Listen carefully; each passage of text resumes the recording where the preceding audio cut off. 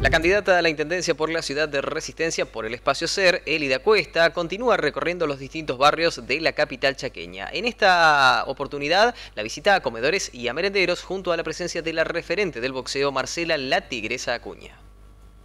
Estamos recorriendo los merenderos, repartiendo eh, las donaciones que recibimos eh, en, esos eventos de, boxeo que se realizaron en el Casino Gala. Por eso me acompaña Marcela, la, tigresa Cuña, eh, porque gracias a ella se pudo realizar este evento gratuito para toda la gente, pidiendo una colaboración. Sí, obviamente, ¿no? y se siga haciendo estos eventos solidarios, se siga eh, colaborando con estos comedores, por supuesto, y bueno, yo creo que lo más importante es tener las ganas de seguir creciendo y trabajando por esta gente que más lo necesita. A seguir trabajando estas políticas blandas, como decía hace un ratito, no solo el hecho de una obra faraónica, sino el hecho de estar cerca de la gente, de los niños, de poder trabajar con los adultos.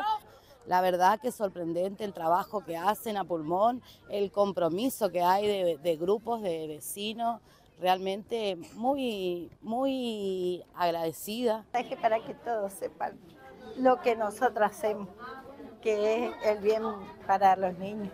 Y hoy, antes de que ella vuelva, en estos días, antes de que ella vuelva a Buenos Aires, queremos hacer entrega en el territorio para que vean que las cosas que donaron todos aquellos que concurrieron a la velada boxística están en buenas manos, están donde la gente lo necesita. Así que hay que hacer lo que hay que hacer.